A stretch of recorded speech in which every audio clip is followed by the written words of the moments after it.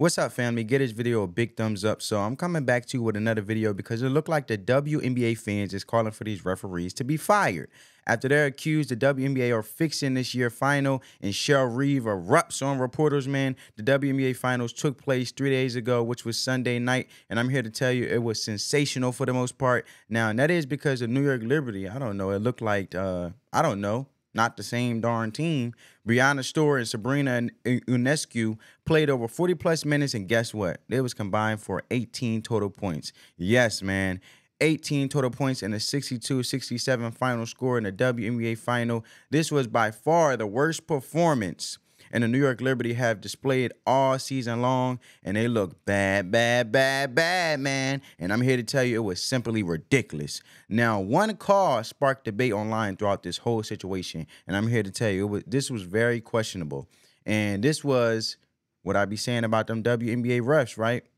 This is the clip presented to you guys on the screen. Check it out, family.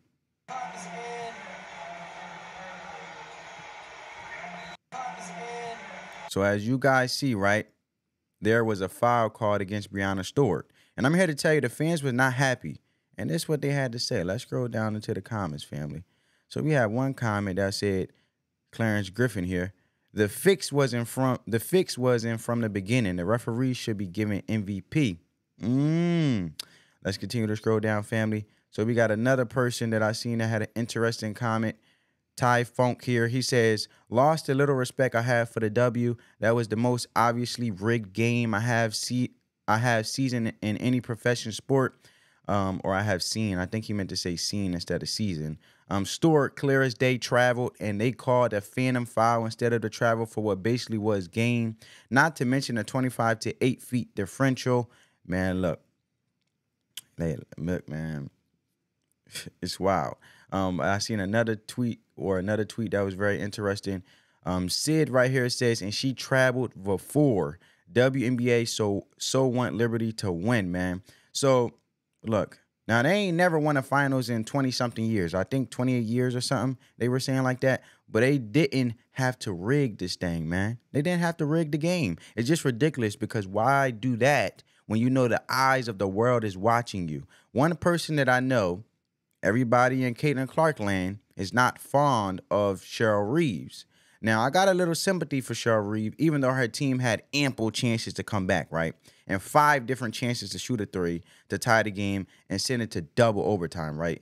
And I mean, we're singing a totally different story, but they couldn't find a three point shot to save their life. Neither could New York either. But dang, man, the New York kept tripping in overtime, and they had like five different chances to tie the darn game. It was just a whole little weird game. But with all that being said, family, let's check this out because this was Cheryl Reeve, and she had a lot to say, family. So with no further ado, check out the clip. What what made the defense so difficult over the last half of that game? Is, it, was it just what New York did, or, or what, what were you seeing there? Here comes Cheryl. Do you want to ask her or me? Abby, do you have box scores? Um, I mean, they turned up the pressure. It's the end of the game. Uh, of course, we're both trying to win, so uh, they turned up the pressure. We got a couple turnovers. We didn't execute our offensive plays at the end, um, so that's what their defense was doing. Coach, maybe you could speak to that too, just about what you saw with the offense over the last half of that game as, as New York turned I up the saw pressure. I saw a very physical and aggressive New York team. Um, you know, we know this from you know being a part of the game for so long that you know sometimes you get away with stuff when you're physical and aggressive, and they certainly did. Um, you know, it's it's a shame that officiating you know had such a hand in in a in a series like this. Um, obviously, there's always going to be a team that's going to be a little more disappointed than the other. I thought today uh, was incredibly disappointing. Um, the challenge, we, we have got to change our challenge rules, and the official, officials doing the game should have a third party because that was not a foul. That call should have been reversed on that challenge. Now remember what I showed you guys at the beginning with Breanna Stewart, and they called that a foul, and it wasn't a foul. That is what Cheryl Reeves is referring to, family. But let's continue. If we sent that clip in, well, first of all, Napheesa Collier, the number of times that she's held, et cetera, and there's there's nothing down that end, right? Which we, you know, it's it's kind of, you know, for whatever reason uh, in the series, that was kind of the way it was. But when at the other end, when when we challenged it, if we would have turned that clip in, they would have told us that it was marginal contact, no foul. Guaranteed. Guaranteed. So when you review, those should be the same parameters that you're reviewing with. But the three people that are on the game need a third party to let them know because that decided the game. That decided the game.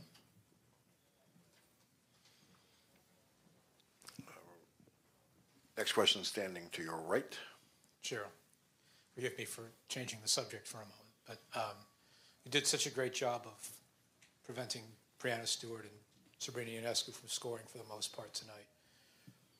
What about Jonquel Jones made her so difficult to stop tonight? When you this watch the whole series, right? Yeah, I mean, yeah, yeah. So yeah, so what makes her difficult is you're spending a lot of time guarding Sabrina and Stewie, and you know, in some of those schemes, it created mismatches. But we were going to live with some of that, right? We knew that JJ was going to score. These guys shot thirty percent. Shot thirty percent. You know, the, the difference was in the foul line. Uh, and obviously, we, we needed to execute better on offense. I think one of these guys said that we had opportunities not to, to fuel them, but we knew they were coming. Um, we just, you know, we just needed, you know, our lead guard spot was obviously it was rough for us tonight. Uh, there, you know, we get a little bit decent play out of there, we win the game, you know. But with all that happened, you know, we still almost put ourselves in position to do this, and you know, I hurt for our players, really, really hurt. Incredibly special group. Next question, second row, center right. Cheryl Taylor Feed, congratulations on the season that you guys had. Um, I'm just hoping you can take me through going into halftime, uh, executing a lot of what you wanted to do, especially on the defensive end, and it's 34-27. Does that feel smaller than it needed to be? Or are you feeling uh, good about where you guys are at and what that conversation was like, uh, sort of for each of you in turn? You know, I, I think that was just kind of the end of quarter situation. I think we were up 12. It was 32 to 20, and then we, they we allowed them to come back to get into within seven or something like that going into the half. Um, and that's where we have to, you know, be better. And that's been throughout the series too, the end of quarters and things like that. Um, and it's hard when you're playing a team at home, a team that knows each other well and things like that. But it's it's it's hard to just pick one thing. You know what I'm saying? When you still have a chance to win the game. So um, I think yeah, we could have executed better, but there were so many things that went on throughout the game that I think we, we still gave ourselves a chance to win. It's been the same. I mean, it's game five. Everybody's making their adjustments mid game, mid possession. You know, we're flying around. Everybody knows each other so well at this point. We're just everybody's trying to make a play and stop them from making a play. Um, you know, they made they made some plays in the second half. We talked a So lot about handling the pressure. Yeah, handling their pressure, executing our offense. You know, not let not turning the ball over to let them get you know energy and transition and things like that. But yeah. Uh, next question, front row to your right. Hi, Fee. I'm, I'm wondering. It seemed like the shots were falling a little bit easier in the first quarter than, and slowly got harder over the course of the game for you. I'm wondering, was that just because of you know New York tightening up? Was did did did it feel like there were any particular reasons why? Maybe the players they were throwing at you, or just Uh, yeah, probably because I was getting held a little bit. It was a little hard to make shots. Um, no, I think you know, of course, like they said, um, everyone's trying to make adjustments. Second half, I got a lot of shots up in the first. I was making a lot, so they tightened up their defense. Um, you know, brought people in rotation, were doubling things like that. So I think they just upped the pressure, so it got harder. Um, so yeah. Next question, standing to the left. Yep. Coach, your team showed the heart of a champion all season, no matter what the result was. So, want to ask you how you really enjoyed this team, really cherished this team. What was your message to them in this locker room throughout this defeat?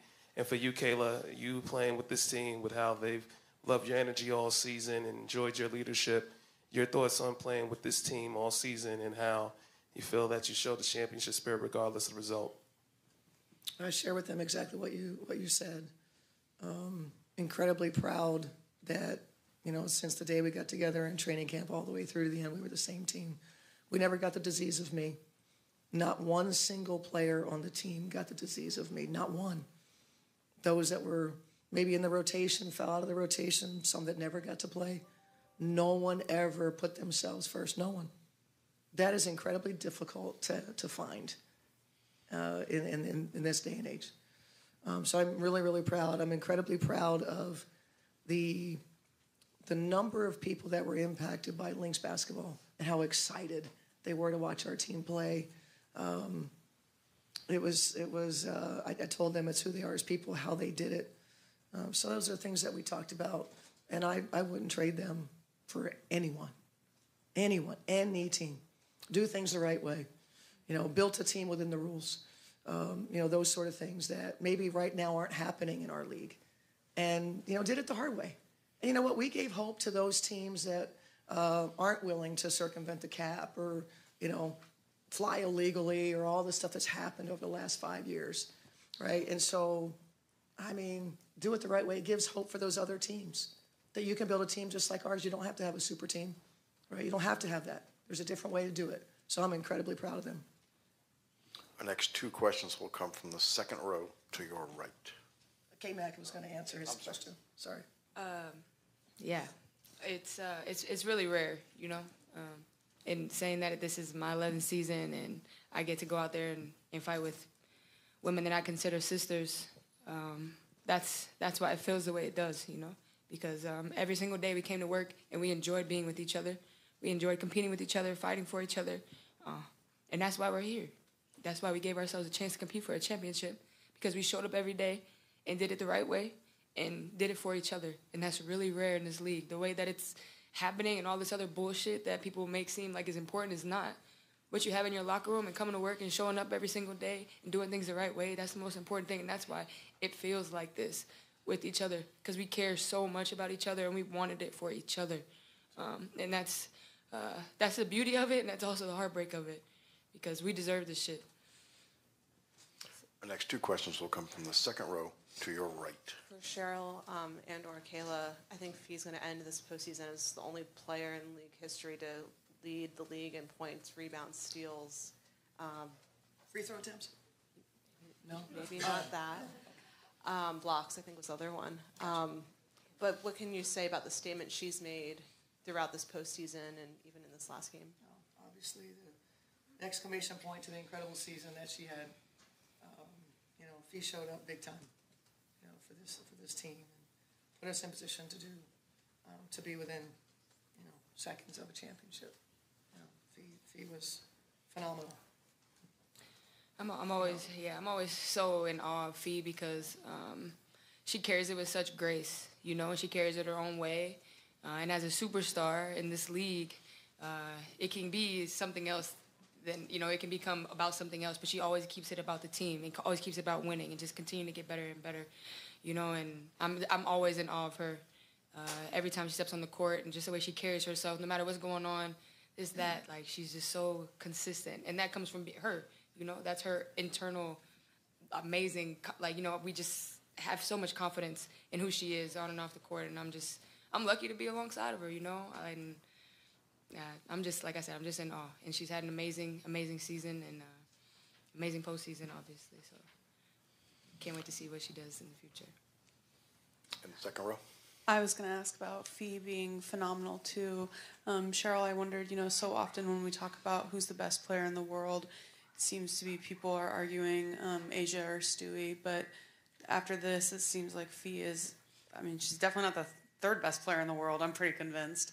Um, how much do you think that like this type of postseason can help her? She's still very young. She can still get better, like catapult to an even another level next year. Yeah, I mean that's that's what's coming. Um, I think greater recognition. Um, you know that that's what's coming, and Fee's earned every bit of it.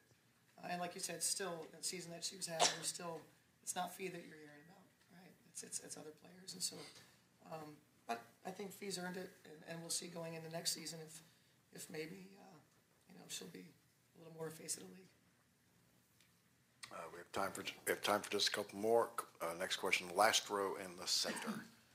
Hi, Cheryl. You alluded a little bit to the way you've built this team, and um, I've definitely thought of your team as as kind of a holistic organizational success story. The pro scouting um, with the players you were able to get in free agency, the um, player development side with a player like Bridget Carleton. Um, as we um, see a lot of other teams around the league either build front offices from scratch or restructure theirs um, as the league gets more competitive and owners are investing more in their team, what do you think the front office of the future looks like, and, and what role does the head coach play in that? Well, that's really loaded. Um, It's a lot for me to think about right now. Forgive me. Um, I don't, I really don't have an answer for that. It's just pretty deep for me. Um, And plus, there's proprietary secrets. Anyone else in the room? Second row. Um, Cheryl Nyara came in and was great for them She tonight. What did she, did she do things differently, or was it just more No, that she she was got the tremendous in the playoffs. Nyara Sabally was tremendous in the playoffs. Really gave them a lift every single time she got minutes, and not surprised that I mean they went big. You know, it was it's crazy how the series ended. Right for four games, it was about the three ball, three ball, three ball. Certainly offensive rebounds throughout the whole thing. Uh, but then tonight came down to points in the paint. We don't even score in the paint. We had I don't know 40, 44 was it? Right. Um, so it was really interesting how the series ended. You know, with with them playing bigger. You know, they won the game with their defense, no doubt about it, with their defense. And uh, but anyway, to your question, Sabally was a, you know, uh, her minutes were really good, really helped them.